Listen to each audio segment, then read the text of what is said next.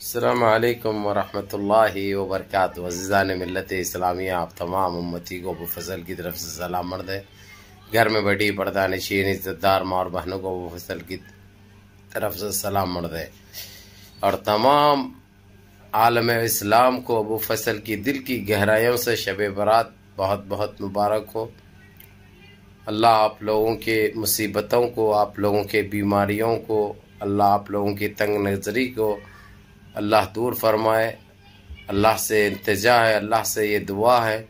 आप लोग भी इन ताला मगरिब की अज़ा से पहले दरुद शरीफ पढ़े होंगे, सौ मरतबा। ये तो अब उन लोगों को बताने की भी ज़रूरत नहीं है, लेकिन फिर भी जो चीज़ न जानते हैं, वो तो बताना बहुत ज़रूरी है। जो मिस भी कर दिए हैं, वो लोग सलात तरावी के बाद कंप्लीट करिए, पढ़िए, दरूद पाक पढ़िए, सौ मरतबा। सलात तस्वीर से पहले उसके बहुत बड़े अजरात है, बहुत फ़वाद है।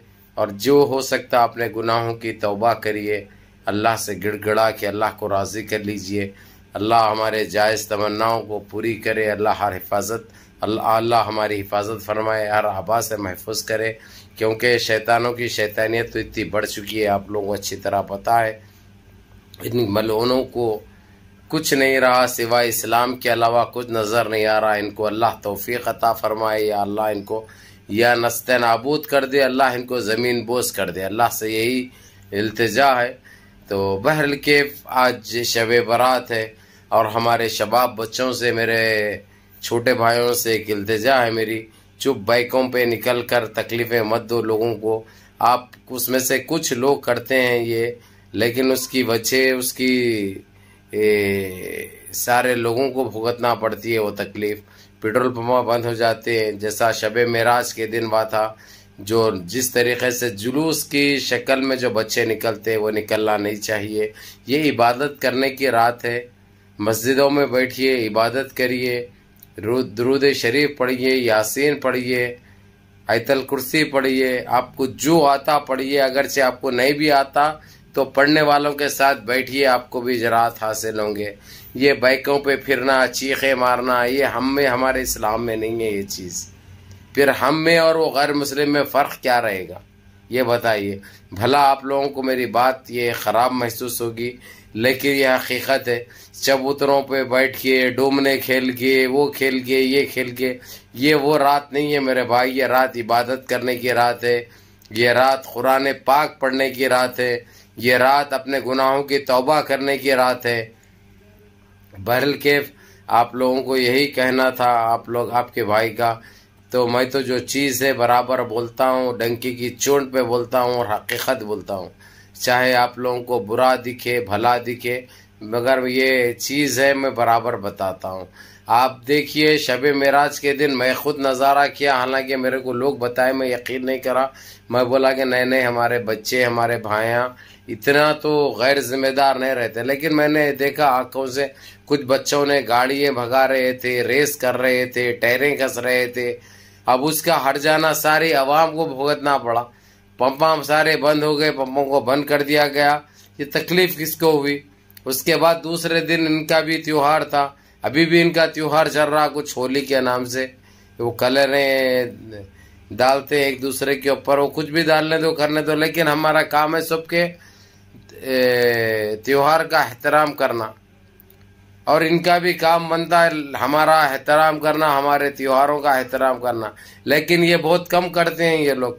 क्योंकि ये लोग, क्या है आप लोगों को मालूम है, मूत्र पीने वाले बहुत, ऐसे कम जहनी का यानी शिकार है ये लोग। इसलिए हर दिन एक नया, एक वो रहता। खैर इश्यूज़ तो बहुत है, लेकिन आप लोगों को ये मुबारकबाद देना मेरे लिए बहुत ज़रूरी था। ये मैसेज आप लोगों को देना बहुत ज़रूरी था। देखिए मेरे भाइयों, वही मस्जिदों में बैठिए, दुआएँ कीजिए, अपने गुनाहों की तौबा मांगिए, अल्लाह को राज़ी कर लीजिए। देखिए आज हमारे साथ क्या कुछ हो रहा है। हम हिजाब के नाम पे हमारे बहनों को परेशान किया जा रहा, नकाब के नाम पे हमारे बहनों को परेशान किया जा रहा। अब ये लोगों की अगली साजिश, इनका मनसूबा अजा के ऊपर पाबंदी लगाने की है। जबकि ये लोग जिस दिन ये करेंगे, उस दिन उनको खुद पता चलेगा कि मुसलमान कौन सी कौम है। हम हर चीज़ बर्दाश्त करते, हर चीज़ सहते। लेकिन जहाँ पे अजान की और नमाज़ की बात आ जाती, हम इनकी सात पुश्ती को भी माफ़ नहीं करते। इनकी सात नस्लों को भी माफ़ नहीं करते। खैर, इनकी कोई अवकात नहीं है इन ताला, वो चीज़ों में आने की। और मुंबई हाई कोर्ट तो आप लोगों को पता है, खुला बोल दिया कि हम हिजाब और नकाब के बारे में कुछ नहीं कह सकते। हिजाब बनने वालों को बनने दो, नहीं बनने वालों को मत बनने दो। उनके उस यानी कोर्ट का ये आर्डर था, ये अहकाम थे उसके, कि ये हिजाब वालों के साथ है। यानी हमारी बहुत बड़ी जीत हुई। एक ही देश के अंदर जो दो कानून बताए गए। एक कर्नाटक का हाई कोर्ट ने हमारे खिलाफ जजमेंट दिया और मुंबई हाई कोर्ट ने हमारे साथ रहा और हमारी ताइद में बताया उसने। बहर के आप लोगों को ये बताना बहुत ज़रूरी था और एक मरतबा आप लोगों को अबू फ़सल की दिल की गहराइयों से शब बारात की परखुलस मुबारकबाद पेश है। दुआओं में याद रखिए, फजूल में बाहर मत फिरिए, फजूल में लोगों को तकलीफ़ में मत डालिए। अल्लाह इज़िकमल खैर। बहरहाल, आप लोगों को यही कहना था मनज़म रहिए मुतहद रहिए, अपनी सफ़ों में इतिहाद बरकरार रखिए, इन गंदी नस्लों से बाज रहिए, क्योंकि ये लोग क्या चाह रहे हैं, क्या कर रहे हैं, आप लोग को अच्छी तरह पता है। लेकिन इनशाला ये मेरा वादा है आप लोगों से इनकी नस्ल नस्ल ख़त्म हो जाएगी इनशाला नस्ल नस्ल ख़त्म हो जाएगी, लेकिन हमारे इस्लाम को धक्का नहीं लगेगा इनशाला ताला। इन्हों जो करते करने दो, सब इनके पिछवाड़ में जाएँगे इनशाला इनकी कोई चीज़ की वो नहीं है।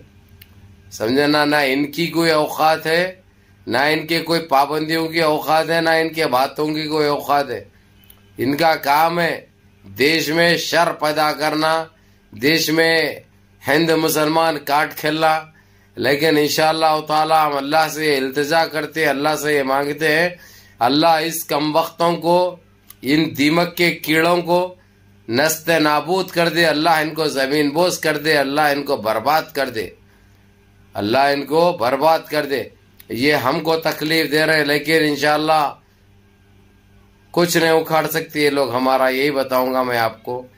तो बहरहाल, मेरे अज़ीज़ दोस्तों, मेरे भाइयों, जितना हो सकता नमाजों की पाबंदी करो माँ बाप की खिदमत करो, बड़ों के अहकाम पे अमल करो, और इस अपने भाई को भी दुआ में याद रखो।